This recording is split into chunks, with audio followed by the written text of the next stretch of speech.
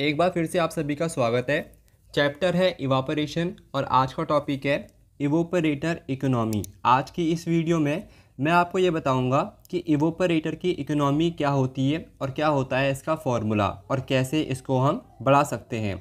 और साथ ही साथ इसको हम एग्ज़ाम्पल के द्वारा भी समझेंगे। तो चलिए शुरू करते हैं। आगे बढ़ने से पहले ये जान लेते हैं कि इवोपरेटर क्या होता है। इवोपरेटर एक ऐसा इक्विपमेंट है जिसकी हेल्प से हम इवापोरेशन की प्रोसेस को कराते हैं। इस दौरान सॉल्यूशन में उपस्थित सॉल्वेंट को सॉल्यूशन से हटाकर सॉल्यूशन की कंसंट्रेशन को इंक्रीज़ किया जाता है। और सामान्यतः ये देखा गया है कि जो सॉल्वेंट होता है, वो वाटर होता है। तो चलिए दोस्तों, अब बात कर लेते हैं इवोपरेटर इकोनॉमी जिसे हम स्टीम इकोनॉमी भी कहते हैं। तो किसी इवोपरेटर को दी जाने वाली पर किलोग्राम स्टीम के द्वारा इवोपरेटेड किलोग्राम वाटर के नंबर को इवोपरेटर की इकोनॉमी कहते हैं। आप चाहें तो इसे इस तरह भी लिख सकते हैं कि किसी इवोपरेटर को दी जाने वाली प्रति किलोग्राम स्टीम के द्वारा इवोपरेटेड किलोग्राम वाटर के नंबर को इवोपरेटर की इकोनॉमी कहते हैं। और इसका जो फॉर्मूला होता है, वो होता है evaporator economy equal amount of water evaporated upon amount of steam used चलिए अब इसको हम एग्ज़ाम्पल के द्वारा समझते हैं। मान लीजिए हमारे पास एक इवोपरेटर है, जिसको हम एक किलोग्राम स्टीम देते हैं और उस एक किलोग्राम स्टीम के द्वारा 0.5 किलोग्राम वाटर इवोपरेटेड होता है, या फिर आप कह सकते हैं वेपोराइज होता है। अब इन वैल्यूज़ को हम फॉर्मूले में रखते हैं। तो अमाउंट ऑफ़ वाटर इवोपरेटेड है 0.5 किलोग्राम और अमाउंट ऑफ़ स्टीम यूज्ड है एक किलोग्राम।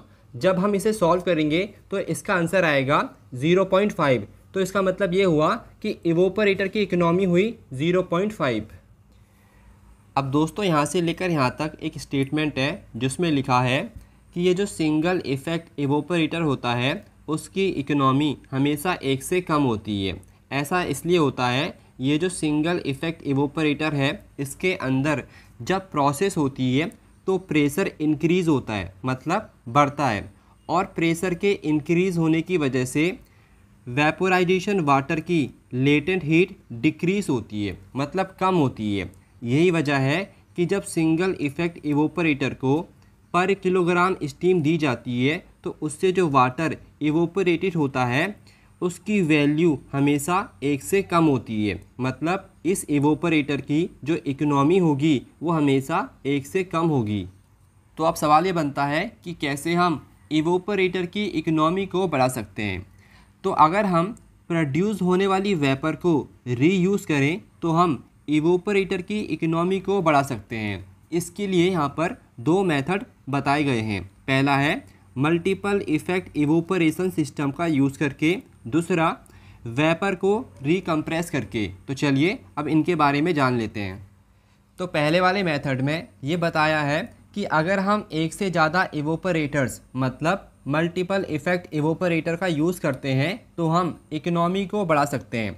अब जैसे कि डायग्राम में आपको मल्टीपल इफ़ेक्ट इवोपरेशन सिस्टम दिखाई दे रहा है। तो ये जो पहला वाला इवोपरेटर है, जब हम इसको पर किलोग्राम स्टीम देते हैं और वेपर प्रोड्यूस होती है तो उसे हम दूसरे वाले इवोपरेटर में एज आ हीटिंग मीडियम मतलब स्टीम के रूप में यूज़ करते हैं। और जब दूसरे वाले इवोपरेटर से वेपर मिलती है तो उसे हम आगे वाले इवोपरेटर में हीटिंग मीडियम के रूप में यूज़ करते हैं। तो इस तरह से हम पर किलोग्राम स्टीम के द्वारा लगभग 2.5 किलोग्राम वाटर को इवोपरेटेड कर सकते हैं।